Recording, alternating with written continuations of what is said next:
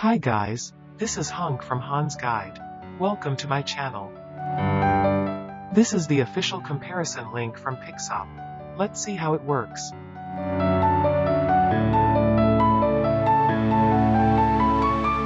How do you think it works? The sample video is downloaded from Pixabay.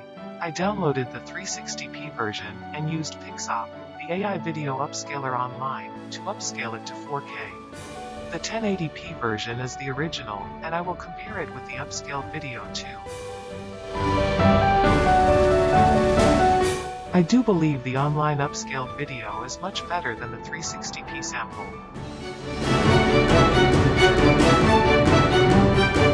Which one do you think is better?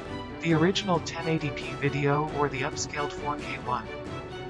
I will show you how to do AI video upscaling online in the next video. Thank you for watching. Don't forget to subscribe, like, share, and comment. See you in the next video.